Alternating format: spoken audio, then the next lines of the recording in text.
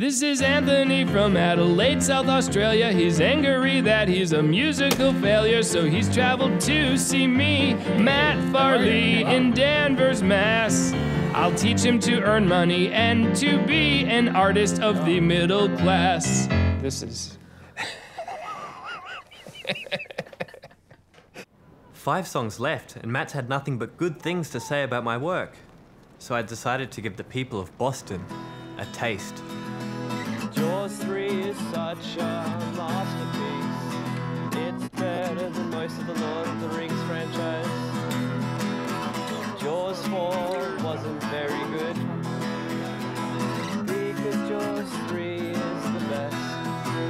It's the best movie that has ever been made.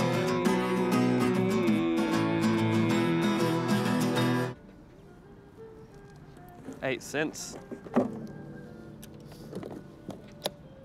Not hugely successful, but okay for my first gig. I'm sure they'll do better online. But it's got me thinking, what does success look like? How far can you really go?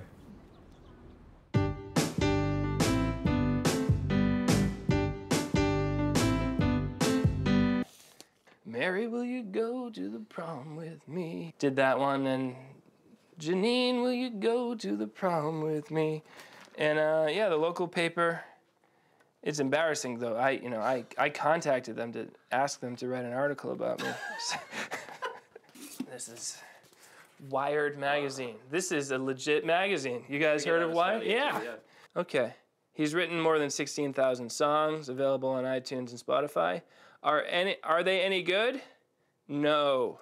Of course not. Can you believe that?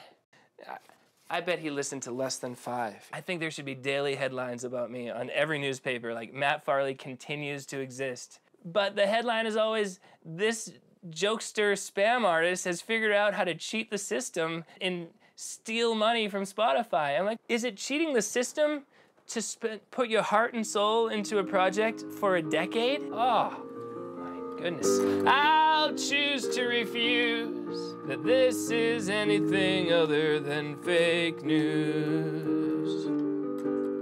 There's a French one, uh, sans talent, it says, which means without talent, and then well, whose face is right next to it.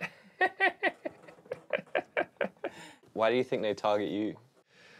Uh, well, you know, I'm not writing glossy pop music, so um, so to the untrained ear, it might sound like talentless, uh, opportunistic uh, spam music, but you know, this is gosh darn beautiful art sometimes.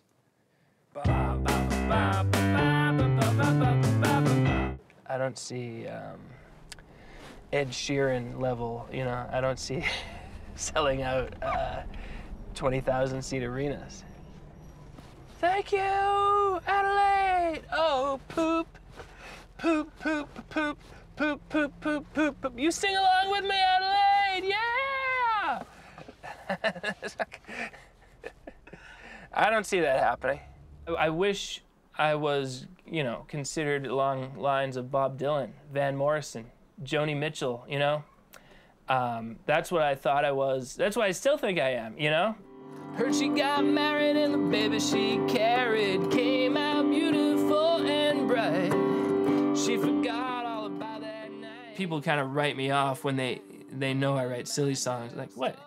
Don't you laugh sometimes and then cry other times? Or not just one thing? Believe it or not, the more artistically pure route is to stay home, make these great songs, but also make a bunch of crazy, insane, weird songs that are often considered bad spam. And, you know, 20 years of churning away, and then some people from Australia will come with questions about it, and you can say, I did it. oh, poop!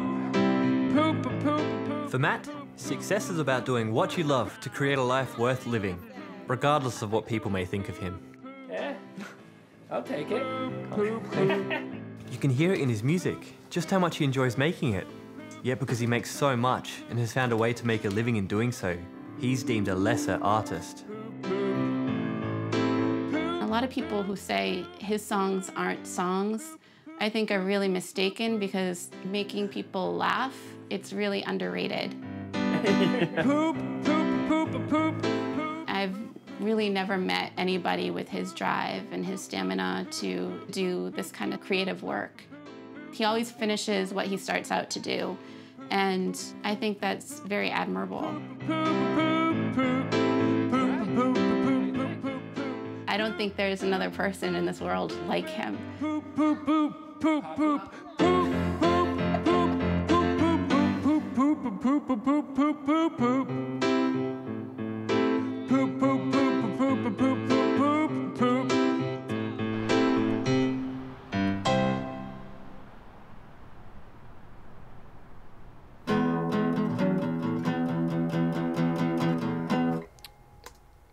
I finally realized my approach to this was all wrong. I thought that I could sell out from the beginning. But you have to earn that right after years of hard work and dedication. Two things I was hoping to avoid.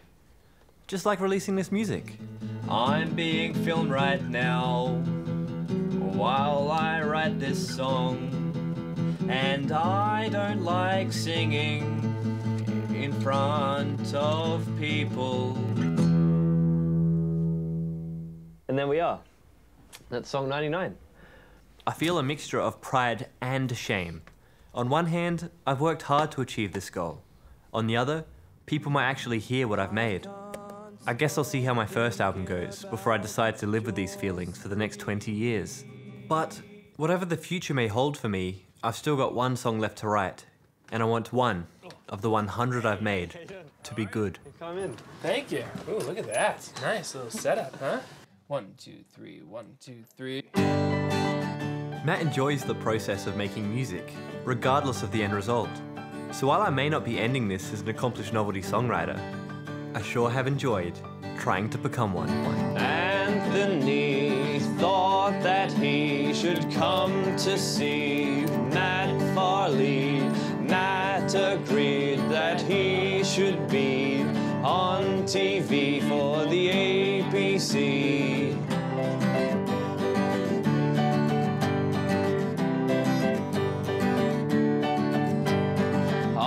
On the plane ride, Anthony tried to write a song, but it wasn't quite right. Then stepped in the songwriting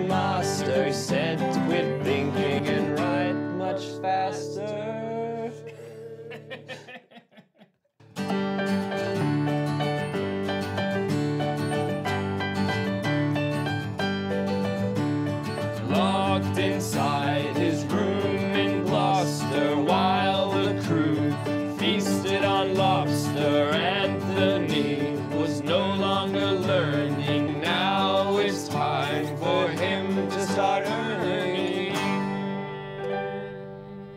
You did it.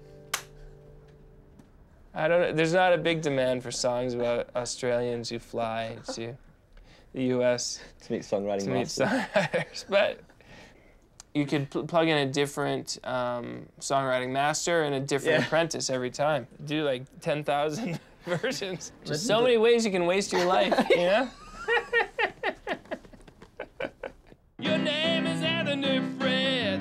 You're a genius filmmaker. You're a fine documentarian and a great interviewer. You got great taste in who should be the subject of your docos. Oh, yes, you do. Your name is Anthony Fred. I used to offer my friends rides to the airport just so I could force them to listen to my music while I was driving. That's how desperate I was to have anyone hear it. So I'm doing great compared to that.